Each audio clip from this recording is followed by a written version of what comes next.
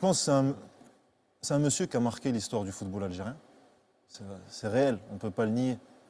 C'est un monsieur qui a un des rares joueurs algériens qui a gagné la Ligue des Champions. Ça. Je dis joueur. Et aujourd'hui, moi, je ne suis pas quelqu'un qui tire sur l'ambulance. Ça. Il est algérien, comme moi, il défend cette équipe nationale. Si un jour on a l'occasion de parler, on parlera.